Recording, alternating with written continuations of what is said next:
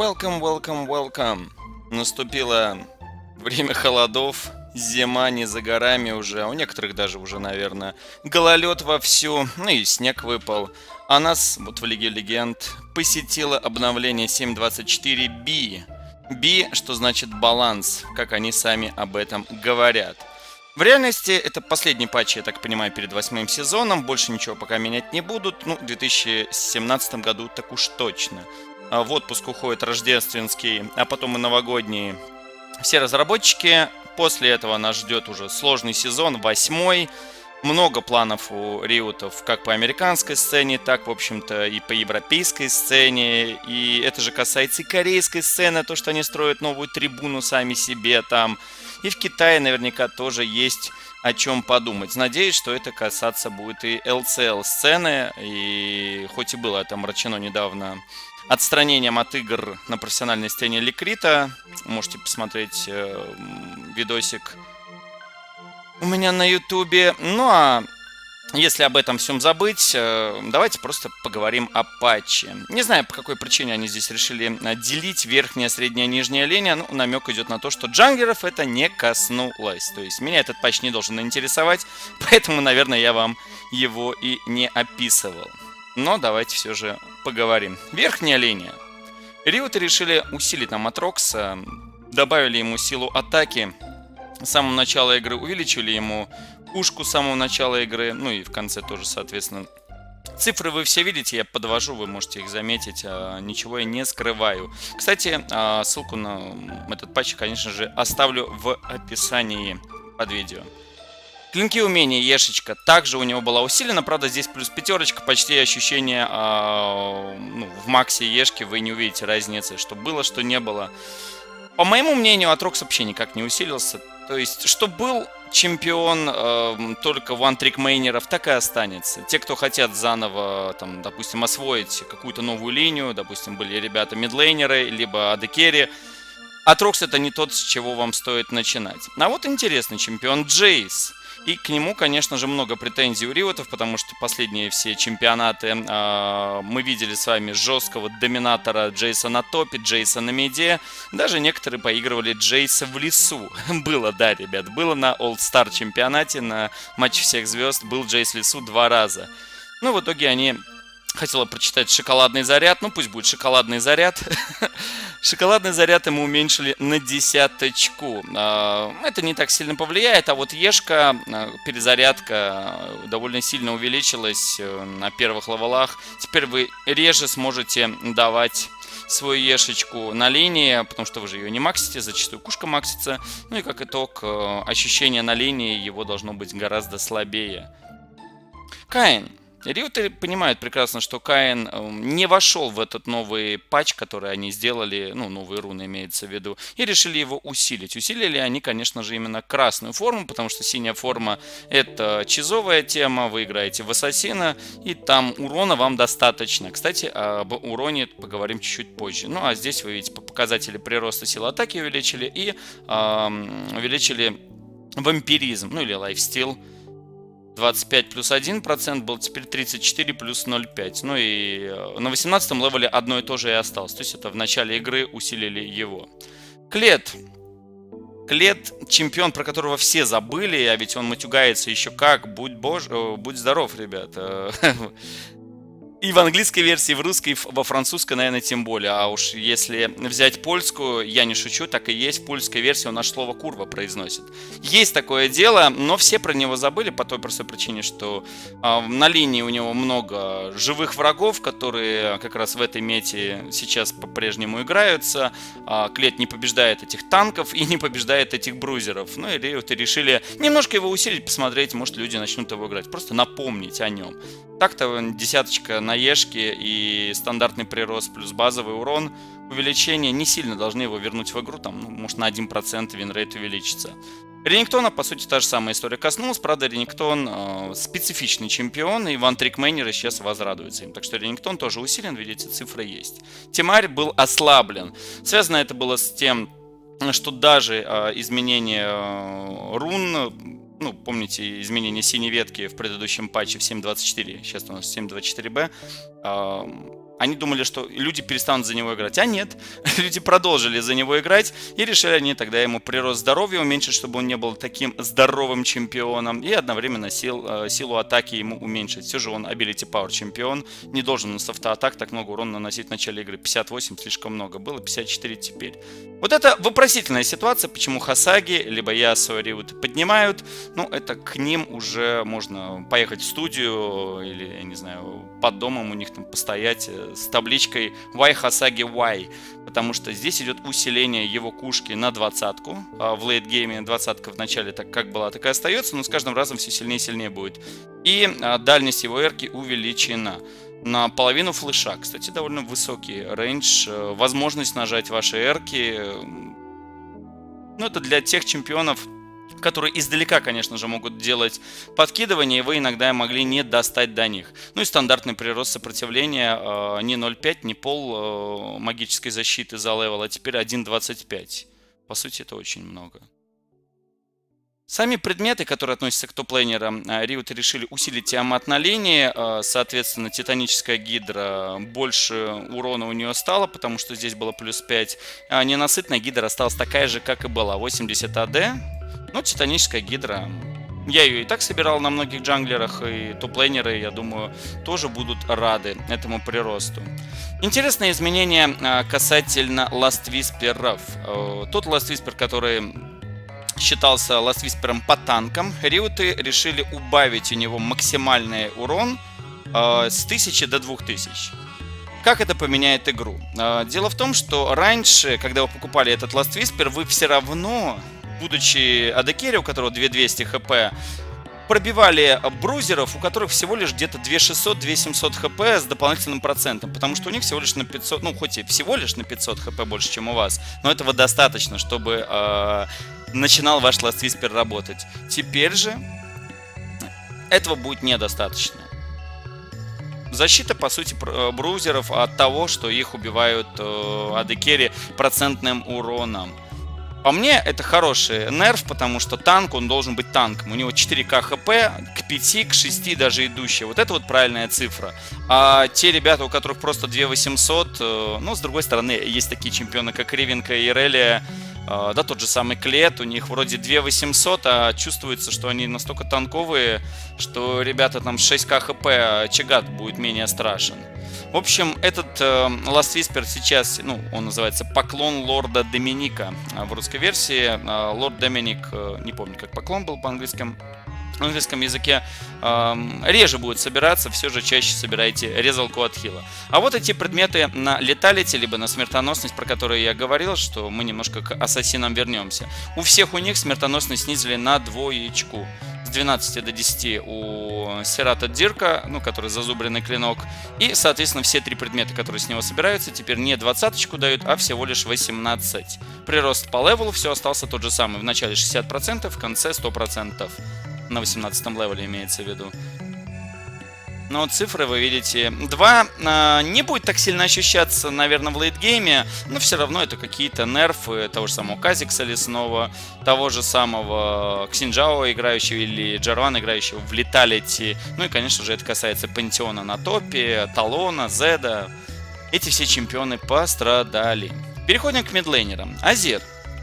Понимали риоты, что Азир был слишком силен на этом чемпионате последнем All Stars Day и на KeSPA Cup'е.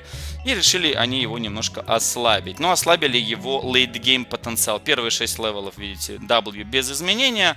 На седьмом с 12 уже двадцаточка почти снята. И в конце игры чистая двадцатка уже снята. А с 13 по 18 level с его W.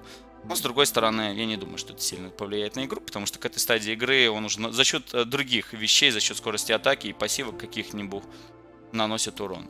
Кассиопея. А, честно, я бы ее вообще не трогал. Мне кажется, что она на самом деле сильный чемпион. Ей нужно, чтобы руны были корректированы, а не сама она. В итоге Риут решили понизить затрату маны на кушку и э, усилить э, скейл у два клыка, это которая ешка. 10% здесь добавить.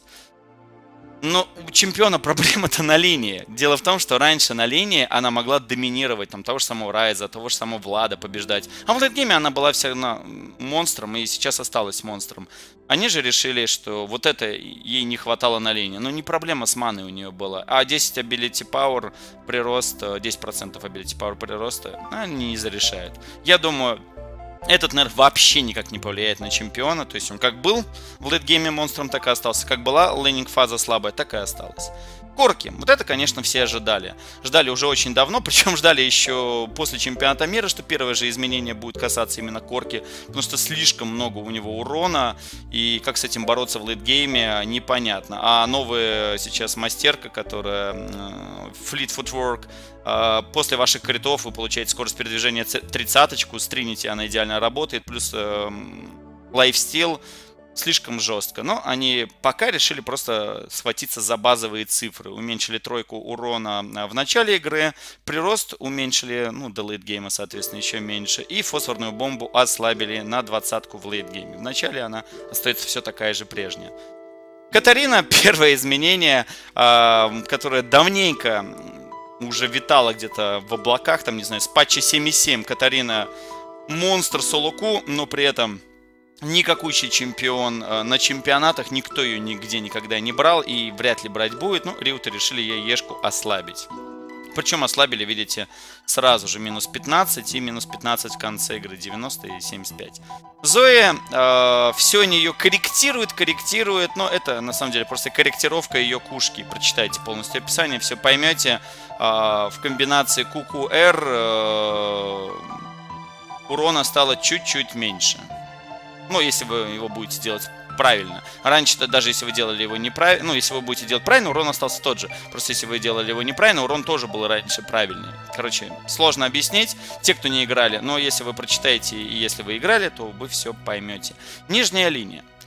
As минус э, прирост скорости атаки. Ну, не знаю, если они серьезно думают, что S строится вокруг скорости атаки. Возможно, он у них Infinity Age собирает. Ах да, подождите, я забыл сказать вам. У Эза же, если зайти в его предметы советов, там висит э, Infinity Age. Точно. Там даже, по-моему, Trinity Force нет.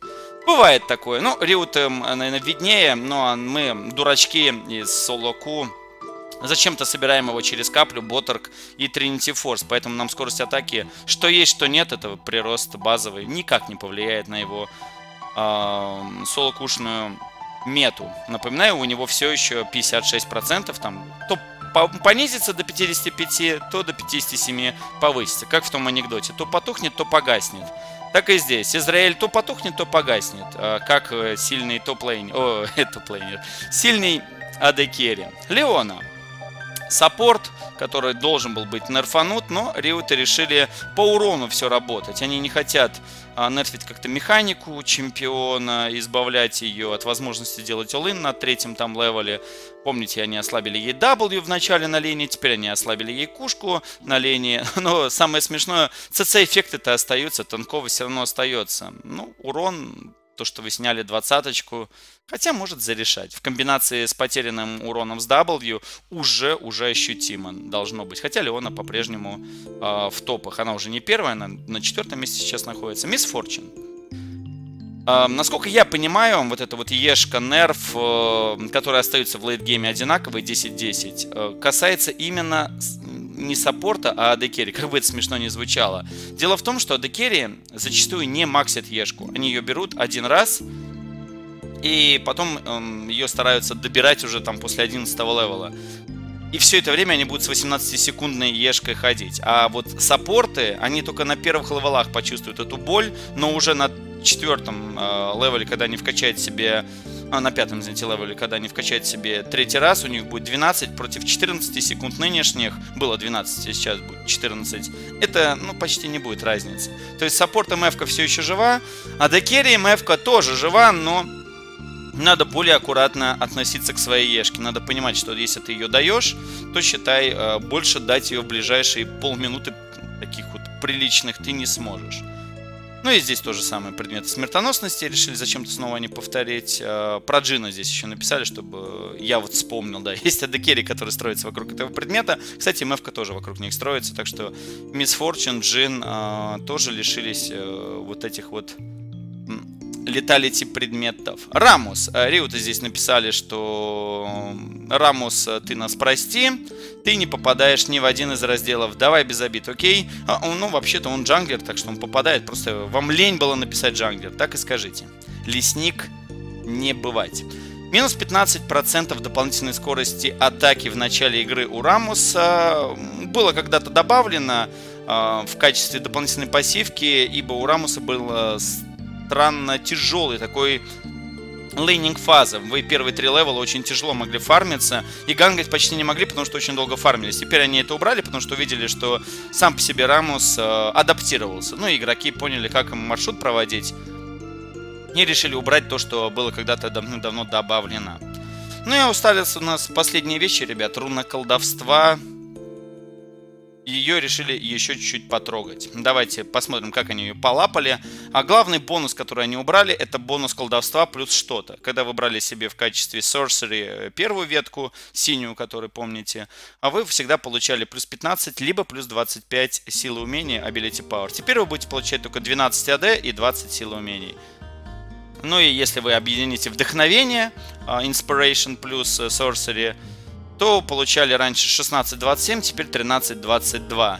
Идея заключается в том, что эта ветка все же чаще пользуется в качестве основы синей веткой, а, нежели э, Риуты задумывали ее. Они хотели конкретно делить чемпионов, у нас есть какое-то количество танков, какое-то количество ассасинов, какое-то количество адекерии, саппортов, э, брузеров. И они примерно знали, сколько должно быть э, синих веток, использованных в качестве основы. А оказалось, что ее используют слишком часто, и надо ее, значит, ослабить. И второй уже патч подряд, по сути, его нерфают. Также нерфуют поток маны. Flow теперь откат идет не 60 секунд, не одну минуту, а минута и 15 секунд. Вам надо ждать, чтобы маны воспользоваться. Это очень сильно пок, э, ударит по саппортам, которые брали э, в качестве главной ветки, а вторую ветку какую-то дополнительную, но не Inspiration. То есть к ним печеньки не приезжали. Ну и также это касается и мидеров, которые надеялись, что манафлоу потока маны им хватит. Ну и ожог ослаблен. Начальный урон, а лейтгеймовый урон остался все тот же, 60 на 18 но минус 10 э, урона на первом левеле. В общем-то и все, ребят. А, будет еще, конечно же, видосики у меня на канале. По патчам все. В этом году больше патчей у нас не будет. Просто оставайтесь на канале, смотрите видосики. Есть много чего еще показать, особенно э, с турнирного модуля Лиги Легенд. Э, 4 дня подряд мы тут играли. Все в подборочках сделаю, качественно, красиво. Подписывайтесь на YouTube, на Twitch, конечно же, ВКонтакте в группе. Все тоже выкладывается. Ну и гудгеймовцам тоже привет. Хотя нет. Всем пока.